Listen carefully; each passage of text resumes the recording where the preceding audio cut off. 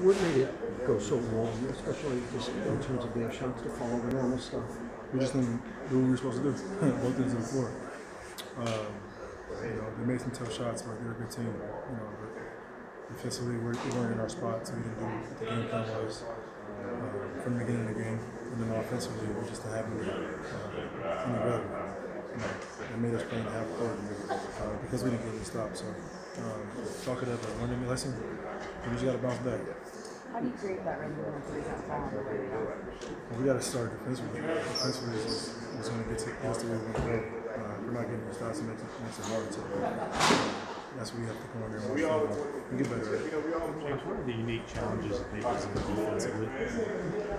Um, I don't know. Because we didn't do what we were supposed to do. How much can you learn from a game when you're out on Great learning experience for us. Both ends of the ball. Like, uh, we got 20, 20, 21 games left to prepare ourselves you know, for, for the bigger picture. Um, so we watch them tomorrow, um, get better, and uh, be ready to go next game. Bruce Williams, did you feel like you got shots wrong?